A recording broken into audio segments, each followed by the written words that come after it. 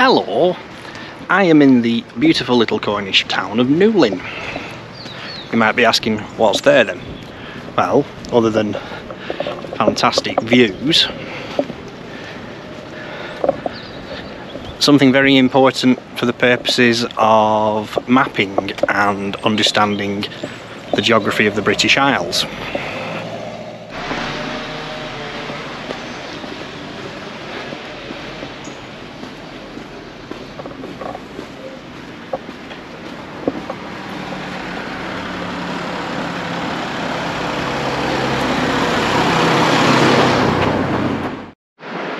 So somewhat typically, I can't actually go to what I wanted to show you because the pier is closed.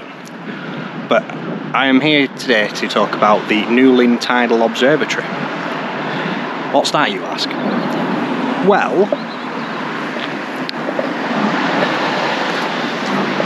the Newlyn Tidal Observatory is the single point of measurement today which gives us all heights above sea level on Ordnance Survey mapping. So whether you're stood here at Newlyn, or whether you're stood at the top of Ben Nevis, or whether you're stood on the Fens, the spot heights on your OS map are all calculated from the measurements taken from this from this site.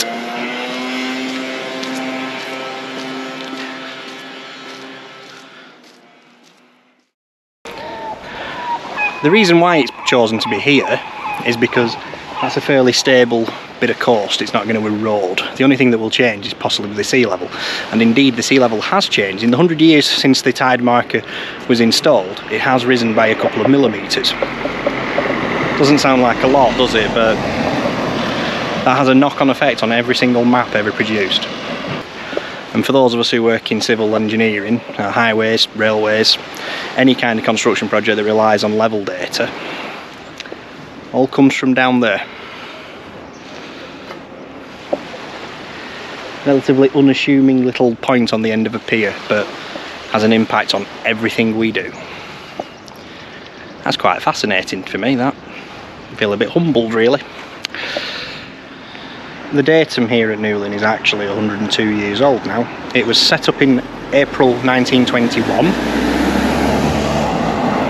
and it's it took a few years to get into the swing of things to actually create the datum. There were several backup datum points to sort of triangulate and cross-reference. But once it was set up in place, off they went with the maps. Obviously originally it will all been calculated in feet, but nowadays it's all done in metres. But it's still obviously point zero.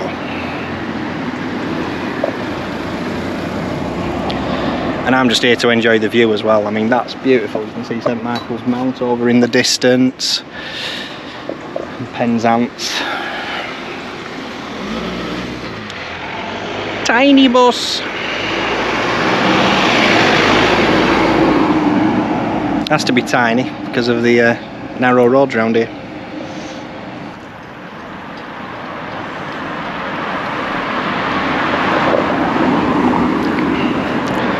Quite interestingly as well, got the Beryl bikes. And you think that it's just the B network thing, but it's really not. They're everywhere now. Good. More of that, please. Anyway, with that, I'll see you next time.